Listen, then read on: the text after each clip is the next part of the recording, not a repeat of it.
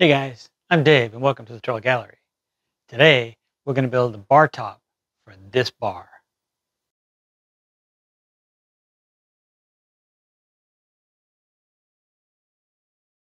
Okay, I wasn't going to do a video on this bar build. I have a huge backlog of work and I didn't want to take the time out of construction to set up the shots and all that stuff that would just slow me down. But the closer I got to building the top, the more I realized how cool it was, and I just had to share it.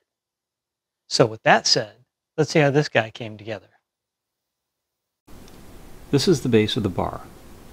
It's basic construction from 3 quarter inch plywood with 1.5 inch by 3 quarter inch poplar face frame pieces. It's held together with pocket hole joinery and some shelf brackets screwed and glued to the body for support. I built this in three parts just so I could move things around while painting. By the time the base was fully assembled, it was all I could do to scoot it around the shop. This thing has some weight. With the base complete, it's time to start on the top. The top for this bar has three main components. A top, a subtop, and molding. Here, I'm ripping the stock to assemble the subtop. I started with two pieces of red oak, and I had marked each face with triangles so I could do some registration magic later. Both boards were ripped down to strips at the table saw. For this piece I needed three of the strips I'd ripped down. Since I don't have a jointer, yet, I make sure that I flip one piece over to equalize any twist or warp in a board. It's not a great solution, but it works. The third board in this case is again set in place to minimize any warp or twist. Now I can locate the positions for the biscuit joinery. I like to start at least 3 inches in from the edge and set them about 8 inches apart. This provides a lot of alignment and some extra strength along the joint. I set my biscuit joiner to cut at the midpoint of my stock, which here is about 7 16 of an inch down from one face, and then I could cut a slot at each alignment point. The key to clean cuts here is to let the tool get up to speed, hold it firmly in place with the face and the fence against your stock at the mark you have made, and then plunge it in for a clean cut. One advantage biscuits have over dominoes is that there's a little side-to-side -side play, so if your alignment is off by a bit, it doesn't really matter. The glue up for these parts is pretty simple. A dab of glue on one set of biscuit slots, and a bead of glue on the other edge, and once that's spread evenly, you can add the biscuits to either side and then press the two pieces together. In this case, where I have a three-piece glue up, I just repeat the process again. Then it's a matter of tapping and clamping things in place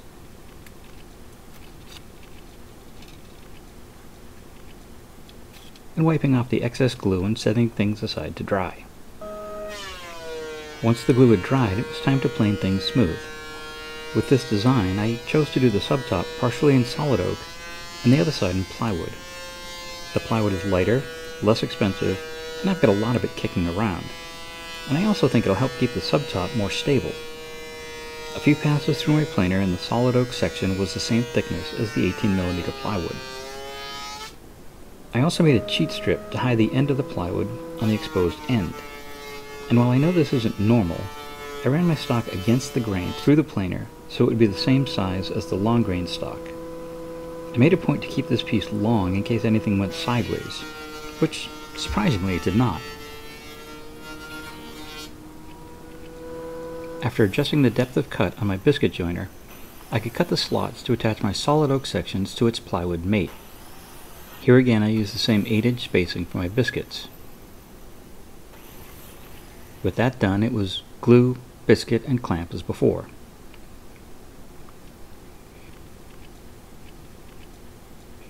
Once the two large pieces were glued together, I could add my little cheater piece that I again had been prepared with biscuit slots.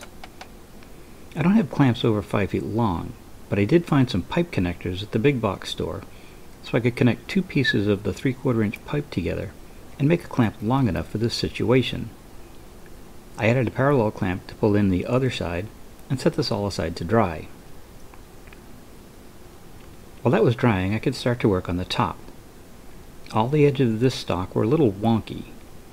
For a few pieces I had to draw a straight line, cut close to that line with my jigsaw, and then reset my straight edge to get a clean edge with my router and pattern bit. With a straight edge on each board, I can now rip the stock to manageable pieces around 3 inches wide. Before I did, I marked the face of each board so I would know the grain pattern for the next step. While I was at the table saw, I ripped down two pieces of stock that I'll use as the glass rail trim pieces later. Again, since I don't have a jointer, yet, I cleaned up the edges of my stock by running them through the planer. This is not the preferred method, but again it works for now. A light pass or two on each side and the saw marks are gone, leaving me a clean edge for the glue up. Now it was time to lay out the boards and determine the best grain match for the top. Here you can see the marks I had added before ripping. Now I can flip one board from each pair, and this will help remove some of the bowing and twisting in the boards. It's hard to see with the ends painted, but I made sure to alternate the grain direction on the end grain, one facing up, the next facing down, and so on, again to help minimize any warping later. I laid out the locations for my biscuits as before. Again, dominoes or dowels would work here, but as I mentioned, biscuits are more forgiving and I've been using them for decades. Before gluing up, it's worth it to check your slots for any burrs that you may have created. Sometimes you can just remove them with your finger, while others may need a knife or a chisel. With the clamps in place, it's time for glue. Like before, add glue to each slot and along one edge, add your biscuits, squeeze or tap your pieces together. Repeat this as necessary until all your stock is assembled. Then you can add clamps to hold things together while the glue sets up. The total width of this top is too wide for my planer, so I split the glue up into two sections. The last thing I did was to wipe off as much of the excess glue as I could to make cleanup easier later. Once this half of the top had time to dry, I repeated the process for the other half. A couple of passes through the thickness planer on each side, and the faces are smooth and reduced to the correct thickness to match the rabbet in the bar rail that you can see here. Because I had already cut the slots for the biscuits on these boards, I made sure to run them the same number of passes on each face to keep the slots aligned.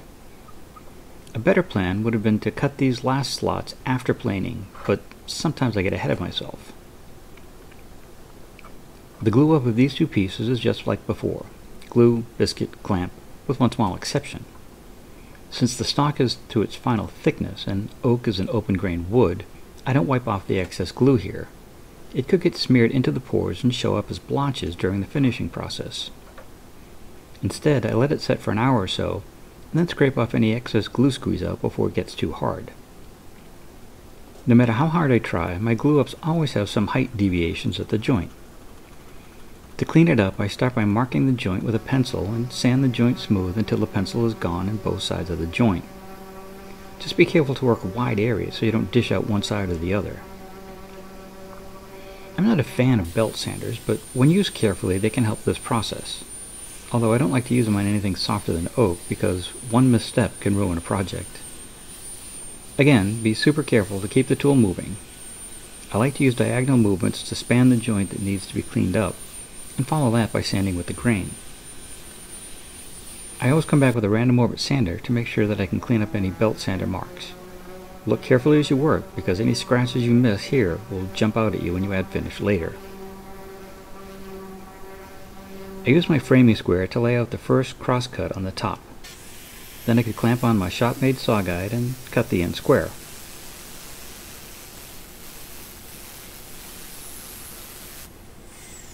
After double and triple checking my measurements, I cut the opposite end the same way.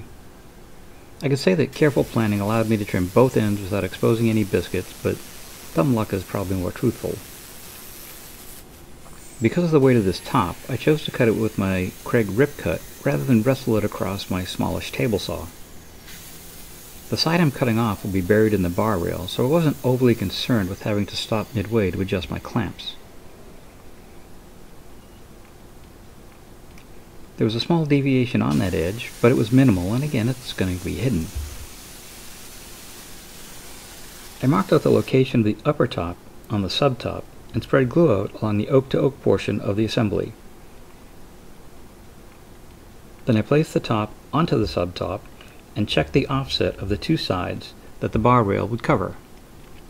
When I was happy with the location, I added a couple of clamps and screwed the two pieces together with one and a quarter inch flathead screws.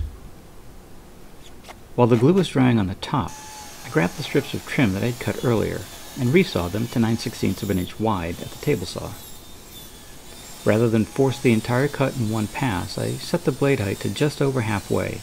Then I could rip one side, flip it end for end, and complete the cut on the second pass.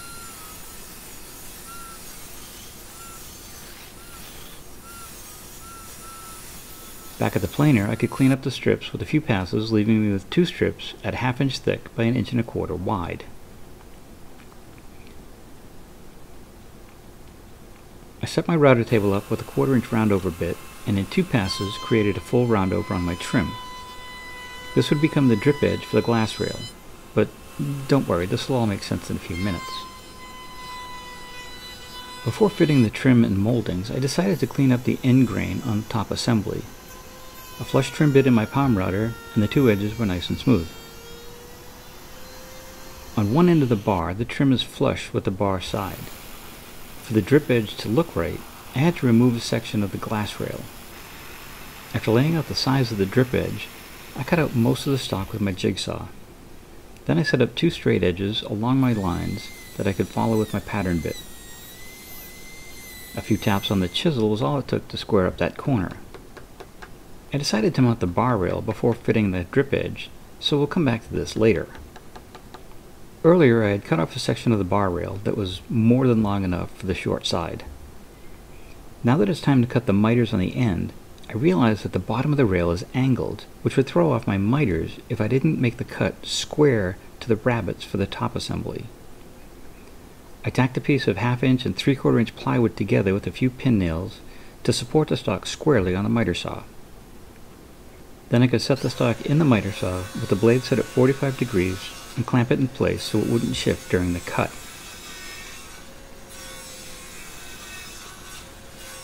I took several passes to cut through the stock, and yes, I found one of the 23 gauge pin nails mid-cut. Luckily these pins are really small, and despite the fireworks, did virtually no damage to the blade.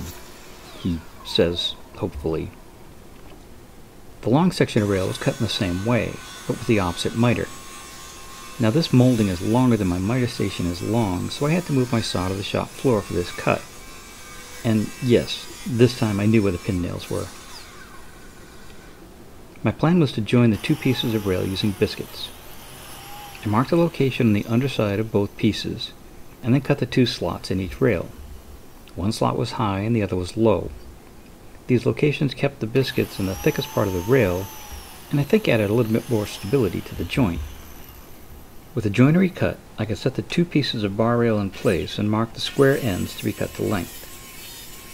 While I think I could have done without the support stock on the square cut, I didn't want to risk it. A few trips to the miter saw and the pieces fit just right. I cut a fill strip that would just fit the underside of the bar rail.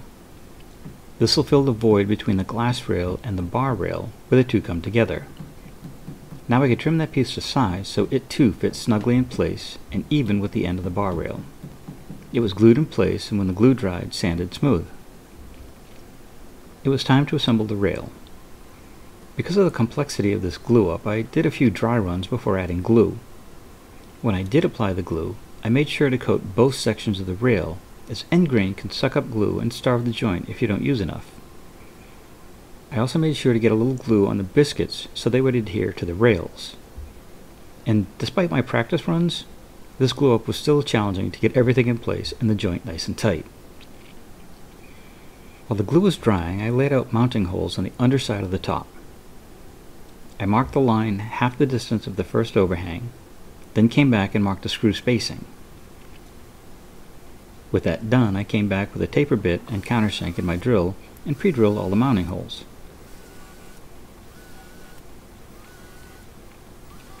The last step was to sand off the lines and any burrs created during this process.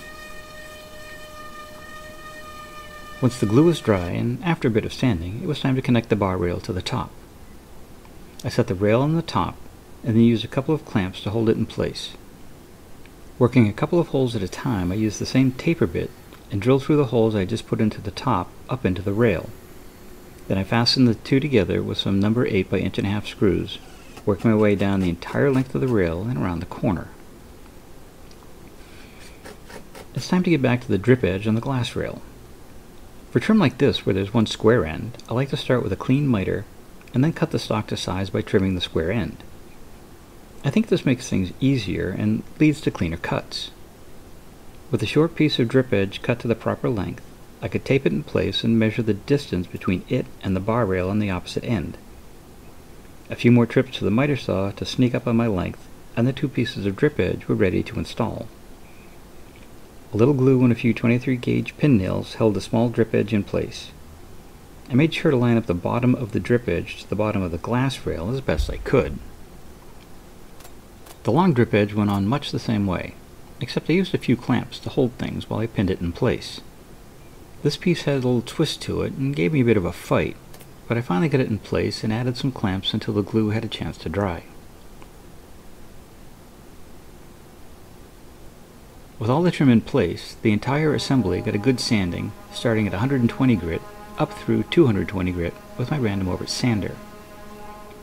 I like my pieces to have sharp looking edges, but not so sharp they'll cut you. To get this look, I used my sander with 220 grit paper, and with a few passes, I eased all the square edges. Once all the surfaces were sanded and the square edges had been eased, there were a few curved edges that needed a little attention as well. I wanted that same look and feel, but on these shapes, it's best to work by hand.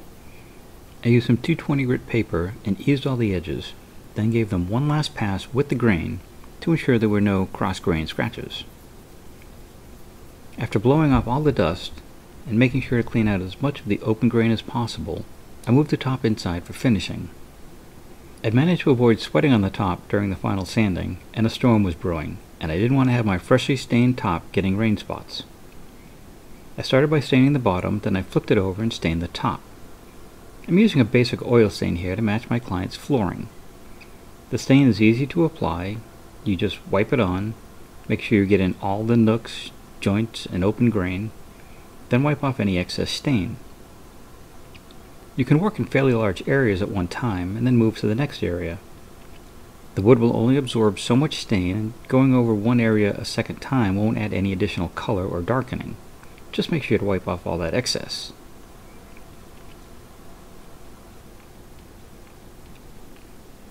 I let the stain dry overnight, then it was time for the bar top epoxy. I added three coats to the bottom, let that dry, and then it was time for the show face. I learned a few lessons while coating the bottom. One is that my shop is too hot and humid, so naturally I moved the bar into the house to coat the top. I followed the manufacturer's instructions on mixing the epoxy, and when it was thoroughly mixed, I poured the first coat. This is just a fill coat, and I wasn't going for any real depth. I was just trying to fill all the grain and voids in the surface. Since this is self-leveling epoxy, I took the time to ensure that the top was level side to side and front to back. Products like this are great when your project is a flat surface, but the curves and insets made this pour a bit more challenging. I used a plastic scraper and a foam brush to get as even a coat as possible on all surfaces. The other challenge with this pour is I'm working with red oak and open-grained wood. The more porous your material is, the more likely you are to get air bubbles as the epoxy sets. I used a handheld butane torch to bring the bubbles to the surface so they can be released. This is most notable on the first pour, and I used my torch repeatedly until the epoxy had set enough that the wood could not release any more air. Oh, and keep that torch moving. You want enough heat to draw out the bubbles, but not enough to burn the epoxy. The subsequent pours were done the same way. Mix, pour, smooth, and remove the bubbles. I know there are people out there who can get a smooth pour, but apparently I'm not one of them. Maybe there was something I missed or a trick I don't know, but I ended up with lots of dips and drips. After a little sanding, oh, okay, a lot of sanding, the worst of the high spots were removed. The shiny spots you can see after the sanding are the low areas, and I hope to fill those with urethane. With all the curved surfaces and tight spaces, there was quite a bit of hand sanding as well. With the sanding complete, it was time for finish. I laid down three coats of oil-based spar varnish, sanding at 220 grit between coats. Then I could flip the top and do the same finish.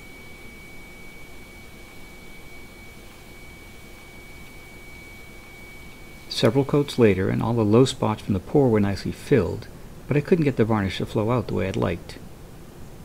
After checking for compatibility with the manufacturer, I sanded the spar varnish again and sprayed the top with a few coats of water-based urethane. I've always had good luck with this product and I finally got a nice finish. I wanted to give it a little more polish, so I wet sanded the entire top. I started with 300 grit, then 400, 600, and finish with 1000. This gave me a smooth finish, removing any imperfections from the spraying. I finished the top with a couple of coats of paste wax. I simply rubbed it on, making my last pass with the grain, and let it sit for about 15 minutes. Then I could buff it out, again working with the grain until all the wax was removed. The installation went smoothly. We carried in the body of the bar, the top, and the foot rail. I started by attaching the bar top to the top frame of the base with some number 8 by 2 inch screws. Then I attached the foot rail to the bar. I used quarter 20 machine head screws that I had painted black to match the foot rail and locked them in place with washers and acorn nuts that I had painted white. It's a little detail, but the fasteners blend in with the bar. This build was full of challenges. It was big, it was heavy, and the thought of messing up that bar rail just scared the crap out of me. And I had several setbacks during the finishing process, but that's a story for another day. When it was all said and done, it came together nicely, and my clients were thrilled with how it turned out. I'd love to hear your thoughts on this process. Were there things I could have done differently, smarter, easier? Drop them in the comments below. I'd love to hear. If you enjoyed this video, maybe give us a thumbs up and share it with friends. And if you haven't already, maybe it's time to hit that subscribe button and the little bell so you get notified each time I put out a new video. As always, I never know what's going to come up next, so you'll have to stay tuned and find out. Guys, have a great day. Take care. We'll see you soon.